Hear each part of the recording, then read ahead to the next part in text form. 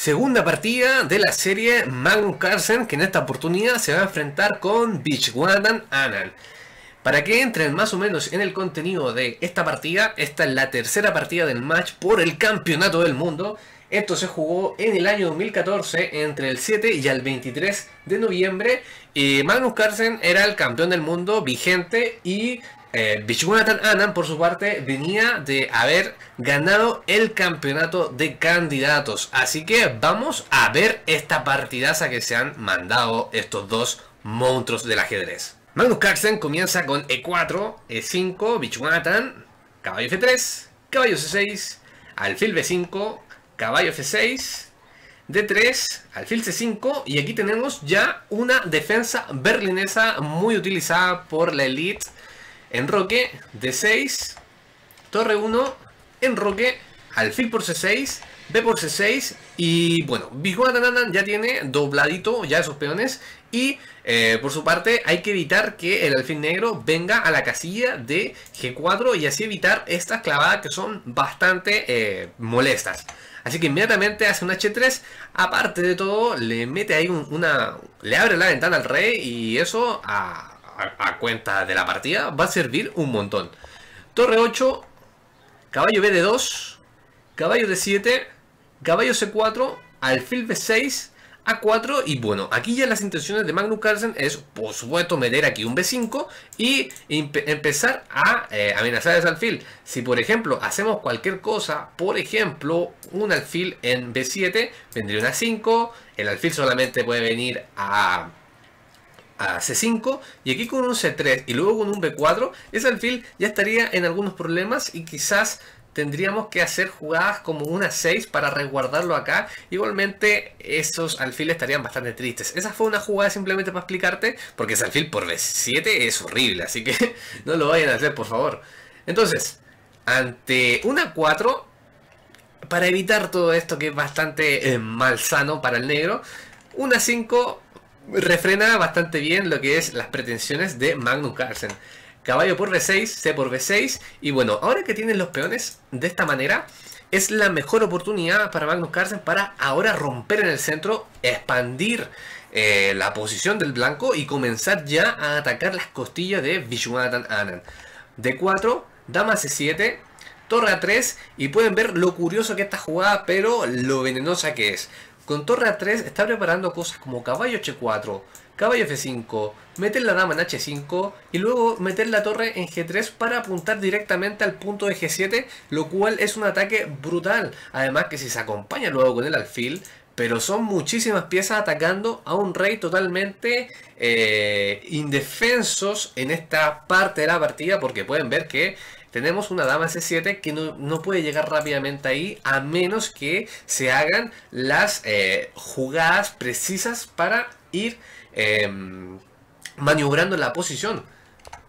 Entonces jugó caballo F8 para rápidamente decir, vale, tengo mi dama acá, puedo seguir y puedo defender de alguna forma. Al mismo tiempo puedo quizás hacer algún F6, caballo en G6 y meter un alfil en E6 para alfil F7 y por ahí frenar las pretensiones del campeón del mundo de por, de por, caballo H4 y aquí empieza Magnus Carlsen a armar su maquinita del tiempo porque ya predice más o menos el ataque que se le viene encima al indio Vishwanathan Anand. Torre de 8, dama H5 y ya se estaba preparando con todo. O sea, simplemente falta que meta el caballo en F5 y la torre en G3 y va a estar la pesadilla armada para Vishwanathan Anand. F6, caballo F5, alfil E6. Bueno, alfil F6, alfil E6 puede, por ejemplo, preparar cosillas como alfil en F7 para intentar replegar la dama, para intentar sacarse un poco el asedio de encima, ya que el rey está ahí con bastante miedo del ataque que está gestando Magnus. Torre G3, Caballo que 6 rápidamente colocando el tapón, ya que, como pueden ver, estamos pegando directamente y amenazando torre por G7, que es catastrófico, amigazos.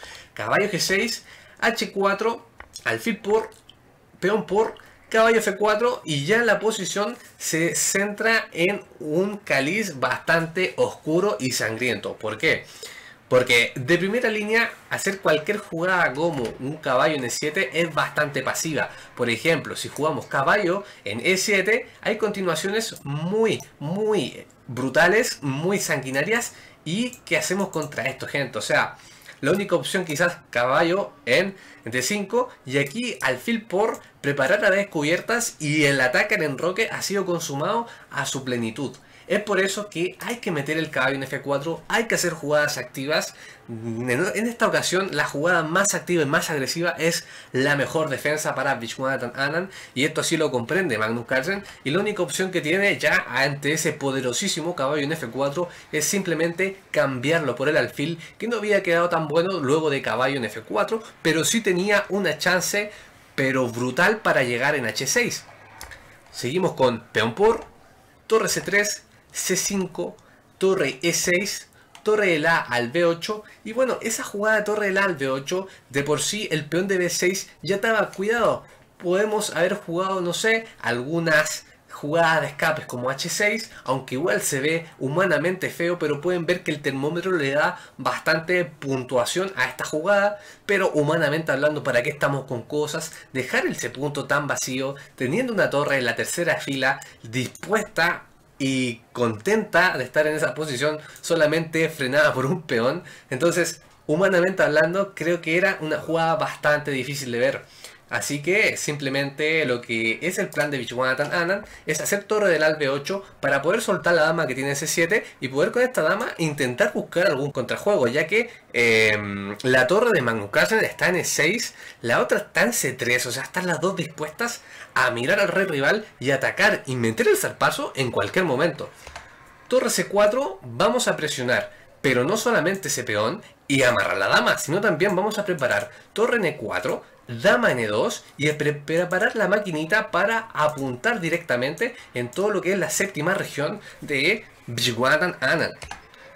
Dama D7, rey H2 y bueno, muchos preguntarán en esta posición ¿qué pasaría, tío Nelson, si yo como torre por F4? Si torre por F4 vendría la fácil jugada dama de 1 jaque obligadamente Magnus Carlsen tiene que comer dama por torre por, rey en H2 y viene la torre en D2. Pueden ver de que los peones de la segunda fila del blanco han quedado demasiado vulnerables y ahora sí el negro ha logrado el contrajuego que en toda la partida ha buscado, pero por supuesto nuestro amigo Magnus Carlsen no lo ha dejado, que es una de las cosas que debes buscar en el ajedrez cuando estás jugando debes intentar de que el rival se sienta lo más incómodo posible, no dejar que nunca logre su contrajuego porque de ahí es cuando se te escapan las partidas, hay que tener mucho ojo con eso compañeros. Entonces, en esta posición, la mejor jugada de módulo rey en H2 para seguir teniendo la atención en el ataque rival y no cambiar ninguna pieza. Porque para el negro cambiar piezas en esta posición, como pudieron apreciar, es pero fantástico. Torre F8, torre de CN4, torre B7, dama E2 y la maquinita ya está armada. Aquí el carrusel de Magnus Carlsen ya está en ejecución y Vishwanathan tienen que hacer las jugadas precisas para poder zafar de esto. Cualquier error en esta posición es crucial para nuestro amigo el indio. Vamos con B5, B3, a B por A4, B por A4, torre B4, torre 7 y bueno, yo creo que dejar que Magnus Carlsen se metiera en la séptima región tan fácilmente, creo que, bueno, no me gustó mucho eso. Quizás por acá podríamos haber jugado de nuevo un H6. No es para nada humana, como les dije, pero sí podía aguantar más la posición e intentar reforzar esta séptima región e intentar reforzar también la defensa de ese punto en G7 y por ahí aguantar a lo Hakim, digo yo, no sé qué dicen ustedes. Pero bueno, Vishwanathan se caracteriza por ser un jugador bastante más agresivo y quiso buscar el contrajuego a su manera y no podemos culparlo por eso. Torre B4, torre 7, dama de 6, dama F3, torre por, dama por, F3 jaque, G3 y acá viene la jugada malísima de Vishwanathan Anand, H5 y el termómetro se fue al Himalaya junto con Chesumare porque ahora viene la brutal combinación. Y por favor, ponele pausa al video y ve cuál puede ser la continuación tan brutal, la cual nos está indicando que el termómetro de por qué esta eh, casilla de H5 para el peón está tan incorrecta. Bueno, la continuación es dama B7 y pueden ver que no podemos parar esto con nada. Con un dama, por ejemplo, en D2, no alcanzamos a llegar a, atacar al rey enemigo porque viene torre por, rey, torre jaque, rey y viene el mate. Así que esta ha sido la partida. No le quedó otra a Bichuan Anan de renunciar. Se tuvo que rendir y la partida eh, comenzó de una manera pero muy didáctica, muy divertida, un ataque al enroque brutal, nunca lo soltó, fue un auténtico perro de casa Magnus Carlsen, y ya saben, cuando estás atacando, tienes tanta iniciativa, por ningún motivo dejes que te cambien las piezas tan fácilmente, debes jugar con la iniciativa, seguir mordiendo, mordiendo, mordiendo, porque eventualmente el rival va a soltar y vas a comerle el cuello. Así que cuídense mucho, los espero en el próximo. Chao, chao.